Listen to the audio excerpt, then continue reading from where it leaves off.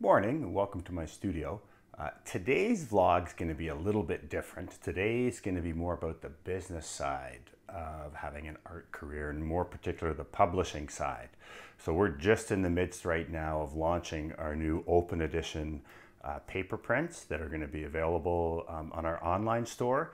So I'm going to talk today about the whole process of getting this ready to launch and how we are going to use social digital uh, media uh, to promote this. So this is going to be a lot about using social media uh, to promote our brand in the year 2017 instead of relying on old tactics of uh, promoting our stuff uh, from the pre-digital age.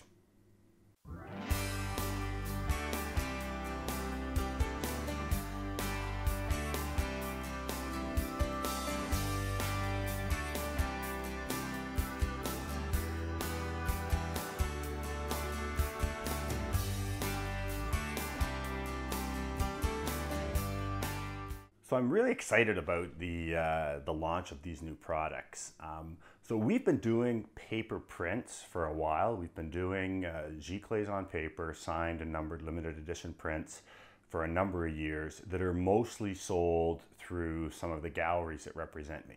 And they've always done really, really well.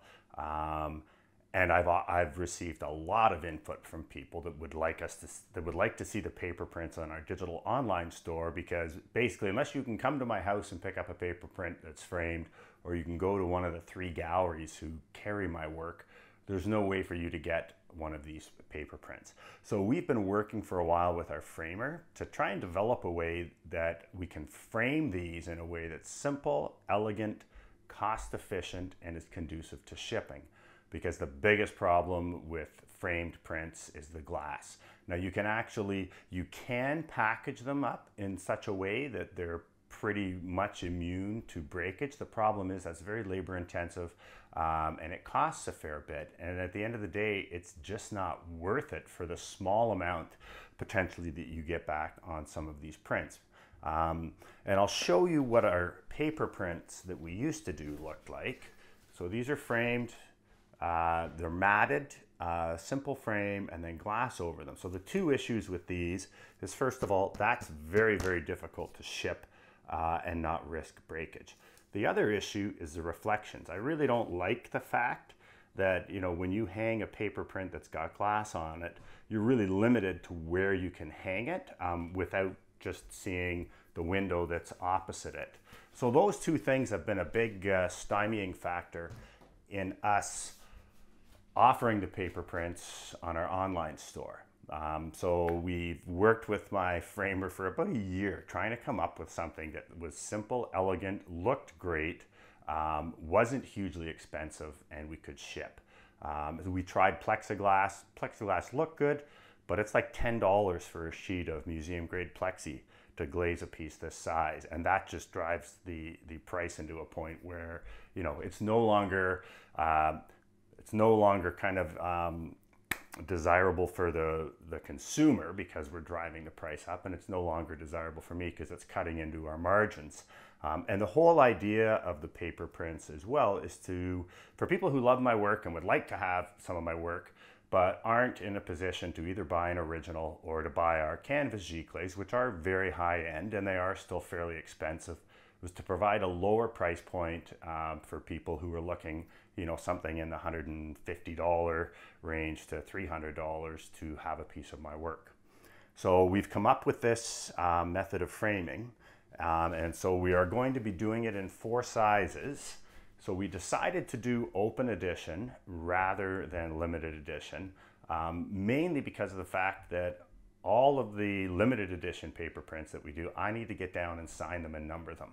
Um, and it's just reaching a point where that is taking up an awful lot of my time. Um, and that's just dealing with the sales through galleries.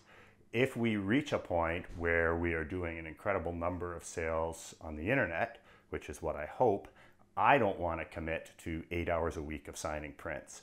Um, and so we've decided to go with open edition prints. Um, and we're going to lower the price a little again to make it a little more attractive for people. So we've also decided we're going to have a series of images in the squares that we will present in three different sizes. And the, the thing I love about this, you'll notice as I turn it, there's no glare from the window. Um, and so I think that is just an amazing uh, added feature to this. Not only is it um, much more conducive to shipping, but I think it's actually a better product in terms of you can place it wherever you want and you're not going to get the glare. Now what we've actually done with these is our framer has heat mounted them on board and then he's put a, a matte varnish over top of the paper. Um, and the matte varnish has a slightly crackled uh, textured appearance when you look up close. But as you move back, that disappears. And the overall effect, again, that I love is no reflections. So that's kind of the product that we're coming out with. Um, and then the question becomes, well, how do we launch this product? How do we market this product? So that's what I'm going to talk about now is more kind of uh, marketing for artists in the year 2017 in the digital age. So let's talk about how marketing or branding for artists uh, has changed in the last few years, and it's changed dramatically um, to our benefit, I believe, if you're willing to put the work into it. So if I was doing something like this 10 years ago, I would have had very limited options uh, in terms of how I could launch these paper prints uh, and promote them. I would have basically I would have had to have some kind of an event, so I likely would have done uh, a studio open house here for the paper prints. But then I would also have to advertise it to get people to come here. So in the old days when I had an actual written newsletter, I would have had to type up the newsletter, create the newsletter, get it printed at my printer, um, and then I would have had to mail it out to my mailing list, which was about at one time about 300 people. So I would actually physically mail invitations out to people. Um, so you're looking at you know several hundred dollars in cost in the mailing, several hundred dollars in the printing of the actual newsletter, um, and then I have at times taken out advertising in magazines. Um, so you're you're kind of taking a significant amount of money to promote an event um, and there's a significant amount of risk in that in terms of putting your capital out there. And as, especially as a starting out artist, you don't have a huge amount of money, um, but what you do have is time. Um, and that's where social media comes in. So I have to kind of backtrack a little and tell you my involvement with social media. Uh, three years ago, I thought social media was giggling babies and cat videos. That's basically what I thought it was. I thought I didn't even imagine that it had any sort of um, could be any sort of component to my business, um, let alone one of the most important components of my business. And what changed it for me was when I started the YouTube channel. So I decided two years ago I wanted to put this information out here that I have that I believe will help other artists uh, achieve their full potential. And I created these videos, I put them up, uh, and in the space of a year, basically nothing happened. I had 30 subscribers. The response that I got from people who watched it was overwhelming, as it continues to be about people finding incredible value. But the question is, there's so much noise out there. How do you get people's attention? And then that's when I realized that social media is the way to get people's attention. Um, but I also realized that I wasn't using social media effectively. I was on Instagram, I was on Facebook, I was on LinkedIn, and I had less than 100 connections or subscribers in each of those things. But I looked at social media as a post it and forget it type thing. I actually had Cameron doing all of my Instagram and specifically told him, don't come to me with people's comments and questions. If they want to ask about buying a painting, then you can bother me. Um, but if just someone just says, gee, I love your work, it's like, don't bother me with that. I'm too busy. Um, and that was my social media strategy. Strategy. Occasionally post something on some of these platforms and never ever engage or respond. Uh, and then I discovered Gary Vaynerchuk, who, again, if you don't know him, you should Google him. Uh, if you're interested in pursuing social media as a way of promoting your brand, which will then increase your sales, then I really, really encourage you to check out Gary. He's got an incredible amount of information online. But the main gist of, of his whole philosophy with social media is it's not about transactional marketing, which is typical marketing. Typical, mar- typical marketing was you know you advertise a sale and you hope people do a transaction with you. Social media is about developing relationships, long-term relationships, creating fans and followers where you're interested in the lifetime value of the client, um, the potential client. Also, the other aspect of social media is you need to give more value than you are asking for. So he has one of his books, he's got several bestsellers um, on the New York Times, but it's jab, jab, jab, right hook. Actually, I'm a lefty, so it's a left hook.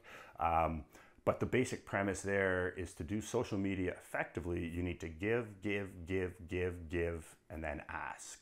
And you need to give more than you are asking for. And for social media, there's basically three things that you can give people. You can give people entertainment, you can give people education, or you can give people inspiration. If your posts are look at giving people value in any of or all three of those things, then people will continue to watch your your posts. People will share your posts um, because you're giving them value. And then the whole idea of social media is occasionally you ask your your followers to do something. So in this case, I'm going to be asking my followers to to buy one of these prints, um, which they may or may not do, and that's that's fine.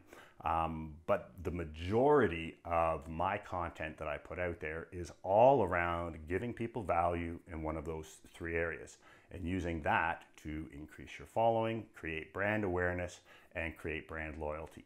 Um, so that's kind of the premise of social media. Now, as I said, about a year and a half ago, I had less than 400 followers total on all platforms. When I started putting into practice the stuff that Gary Vaynerchuk talked about, the results were immediate. So here we are now, uh, 18 months later, and I have, I'm just looking at my list here, I have 6,208 connections on LinkedIn. Um, and what's important there is those are connections where people have asked me to connect with them. I have not gone out and asked anyone to make connection with me. So it's all people who are seeing my posts who want to connect with me. Uh, on Facebook, I have 16,860 followers. On YouTube, we're over a thousand subscribers, 1,045. Um, and on Instagram, I have 2,860. So I'm just shy of 27,000 followers. Um, but I also know on occasion with a face with a really good Facebook post, if I boost it, I've had posts where I've reached 200,000 people for a $20 investment. Um, and that is really incredible.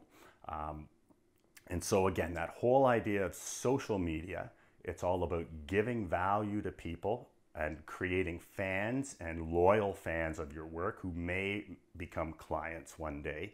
And it's about the lifetime value of that person. It's not about trying to get in and get the quick, quick hit now and get them to make a purchase. It's developing people um, who love what you do and are going to continue to follow it and potentially buy. Um, so that's the whole idea of social media. So I talked about how we would have marketed this in the old days. What we're going to be doing now is we're going to be launching these prints on Friday. Um, the sale's going to be active.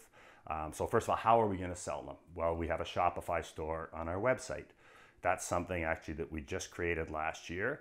So we now have the ability where people can go on our website, view our various products and just click buy and, and purchase it. And that's for the US and Canada, where we include shipping uh, free shipping costs for anywhere in the US and Canada.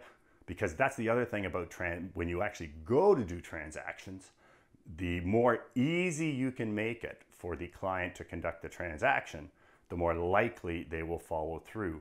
The more steps people have to go through to conclude a transaction, the more likely they will stop at some point. So we used to have on our website um, just, you know, you could email us if you were interested in purchasing one of our Giclées and we would ship it to you we did like three Giclée sales in a year. Um, last year, since introducing the Shopify, we've done over hun- several hundred transactions on our Shopify store because it's much easier. People can just click buy, put their credit card or PayPal information in, and make the transaction. So that's the one thing. It's like, how do you handle the transaction in the social digital age? And then how are we going to promote it? Um, so we are going to be doing a number of things over the next uh, today and tomorrow um, to promote this. Um, so we first of all I have a newsletter with I think we have 600 subscribers to that. So we're sending out our newsletter this morning, kind of talking about the prints and, and the promotion. Um, we're going to be offering a 20% discount on not only our paper prints, but all of our Giclée products, so all of our canvas Giclées as well. Um, and we're going to be doing targeted targeted um, content for each platform. So we'll be doing photo posts on Facebook. We'll be doing video posts on Facebook. We'll be doing. I'm going to create a production quality video promoting this, um, which I'll show you tomorrow. Um, we are going to be doing posts on LinkedIn. We're going to be direct messaging all of all of my LinkedIn connections in the U.S. and Canada, uh, advising them of the sale. We'll be doing posts on Instagram. Um, and all of that, hopefully, will reach, I'm expecting to reach 100,000 people over the course of the weekend with our various posts and our different promotions. So that's the one thing is, is kind of the ability to reach people. And I'm probably not going to spend more than $100 total in boosting posts. Um, so that's part of it is having this strategy to kind of effectively get the message out about what it is we're doing. Um, but then what's also going to be really equally important is to be able to gauge the results. Like, because we're doing all of this stuff, how do we gauge which things are more effective so we know where to put more effort and money down the road? Well, that's the other beauty of the social media and the digital media. We, rather than having it promoted on our site as a sale, if you just come to my website, you won't see anything about the sale. But in each post that we do, we're going to give a unique coupon code for that platform.